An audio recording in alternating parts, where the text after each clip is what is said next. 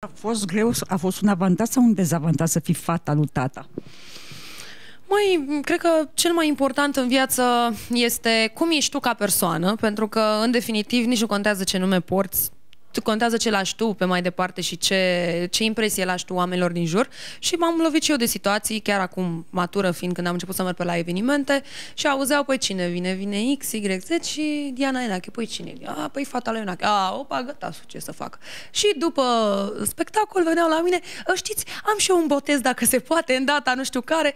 Adică pe mine într-un fel m-au întărit chestiile astea și cu tristețe spun că în ziua de astăzi avem foarte multe păreri și că sunt de acord cu exprimarea lor liberă, dar parcă nu mai știm, frate, să nu știu, să avem o limită acolo de bun simț, nu există bunul simț, știi? Adică, da, mă, nu oameni, nu-i cunoaștem, nu... Și m-am, m-am întâmpinat și probleme, dar până la urmă contează cum sunt eu și mă bucur că oamenii văd dincolo de numele pe care îl port, pentru că am urmărit de-a lungul timpului și mai multe interviuri ale copiilor de persoane cunoscute și spuneau și ei, băi, și la școală. Se uitau cu ce te îmbraci, ce note ai, poate unii profesori nu agreau muzica sau nu știu, aveau ceva din o răutate să te facă să muncești mai mult. Să știi că eu vorbesc mult, că sunt om de radio, așa că să nu te plictisesc. Deci am, am, am întâmpinat destule, destule hopuri, ca să zic așa, dar eu am încredere că E important ce transmiți tu ca om, nu doar ce nume, ce nume porți, pentru că sunt și foarte multe cazuri de copii ale persoanelor cunoscute care s-au pierdut pe drum. Așa că e foarte important cum sunteți voi și să aveți încredere voi în voi. Că e și mama, și tata, și bunicul, și mai bine, aveți o dinastie. Dar important e cum sunteți voi.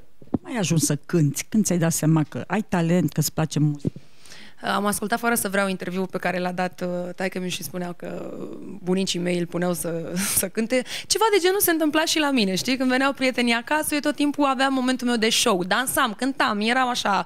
Eu nu l-am ștecherul, eu l-am fixat tivul maică mea, adică fiecare cu ce, cu ce avea. Și apoi am început să fac, uh, am mers la Alegreto, la, ca orice copil și la cluburile specifice pentru copii, dar apoi, serios, serios, pe la 15 ani am, uh, am avut prima, primul impact impact cu scena la Te cunosc de undeva cu tatăl meu și atunci mi-am dat seama că vreau să fac chestia asta pe bune, adică nu e doar așa un, uh, un uh, nu știu, un, un, o pasiune, adică chiar vreau să, să performez în zona asta. De ceva timp lucrezi și în TV. De ceva timp lucrez și în TV, da, și am voie să spun că trebuie să mă promovez și eu, nu? Eu sunt vocea, în primul rând, de la Radio Național FM, în fiecare dimineață sunt acolo și vă spun, bună dimineața, este ora 10. Câteodată mai adormită, câteodată mai supărată, dar sunt acolo lângă voi și am început un proiect foarte frumos la Prima TV alături de Alin Pascal. Alin chiar vine astăzi să mă susțină împreună cu soția sa și m-am bucurat din suflet că, că sunt și ei alături de mine. Totul e fain, așa se numește emisiunea. Noi am filmat deja uh, câteva ediții care urmează să apară și pe post și ne bucurăm de energia bună, de oamenii care vin cu veselie, cu bucurie, pentru că e din ce în ce mai rar în ziua de astăzi. Nu mai fețe triste, nu mai facturi mari la energie, nu mai pandemie, măști. Hai frate, că se mai poate să mai și zâmbim. Așa că totul e fain, așa cum zice și, și emisiunea. Ce, ce ai alege între muzică, televiziune, radio?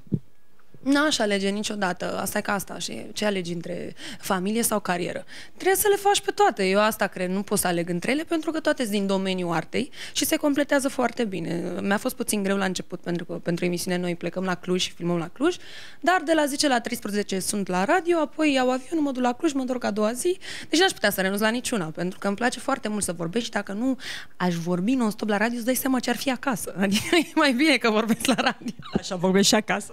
Ei, glumesc mulțumesc. Nu, acum sunt emoționată și de asta sunt așa de, de priza dinaintea spectacolului, dar uh, nu-s departe, de ce să vin? sunt un scorpion veritabil. Ai zâmbit? Îți plac scorpionii? e, ai văzut?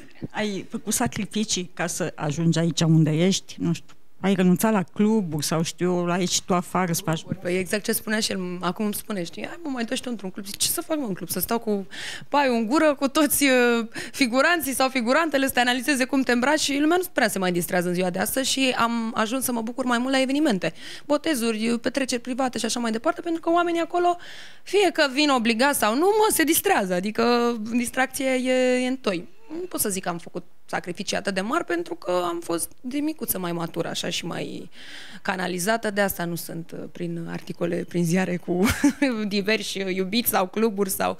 Dar mai am mult de muncă, adică eu totuși mă chinui pentru că Știi, când auzi, ai, fata lui, sigur, îl bagă, o bagă peste tot și nu e așa, se muncește foarte mult și eu m-am lovit de foarte multe situații în care au zis, vai, ce timbru frumos ai, ce piese facem, ce ne ocupăm, ce... Și nu s-a mai întâmplat nimic, sau veneau cu niște contracte în care îți luau și pielea de pe tine. și nu se prea vorbește, știi, în mediul ăsta despre lucrurile astea, dar eu vă spun deschis că cam așa e, adică e foarte mult de muncă.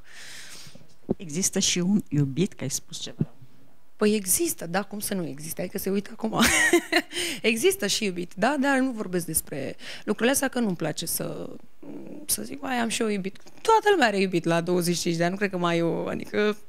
Și știi cum e, azi le ai, mâine nu l-ai, nu, și căsătorile nu mai sunt așa stabile, așa că nu-mi place să vin să zic, da, gata. Dar am o relație serioasă de trei ani de zile și suntem foarte bine. Uite așa, în silent. Cunoaște și tata, bănuiesc. E cum să nu, dar sunt chiar prieteni, vorbesc, el nu vrea să dea mai mult din casă, uite că dau eu. Sunt prieteni, da, se înțeleg foarte bine și, na, pentru mine contează să, nu că accept-o, dar e bine să fie armonie, să nu fie... Domeniul artistic. Nu, nu are nicio legătură cu domeniul artistic. Căsătorii, te gândești la așa ceva? Păi da, ce vrei, să mă cer singură? N-am niciun în moment. Îți dai seama că orice femeie mă gândesc, dar nu e un uh, lucru care trebuie să se întâmple acum, în momentul ăsta. Eu zic că toate se întâmplă când trebuie să se întâmple. Sunt oameni care stau căsătoriți 10 ani, uh, stau într-o relație 10 ani, se căsătoresc și divorțează, divorțează după două luni și oameni care se cunosc după patru luni sau și căsătoriți și copii și sunt și acum. Deci e vorba de alegeri.